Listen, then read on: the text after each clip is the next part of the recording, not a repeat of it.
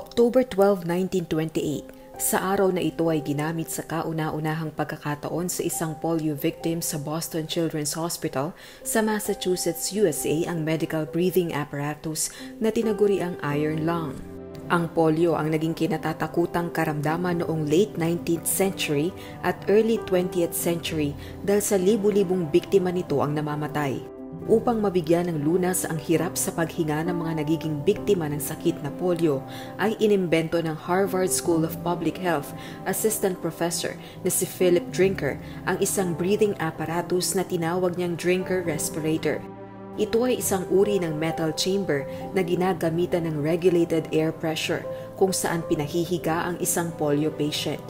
Unang ginamit ang iron lung sa isang walong taong gulang na batang babaeng pasyente sa Boston Children's Hospital noong October 12, 1928 at ito ay napatunayang epektibo. Dahil sa magandang resulta ng aparato ay naging popular si Philip Drinker at kasunod nito ay nagkaroon ng malaking demand para sa iron lung.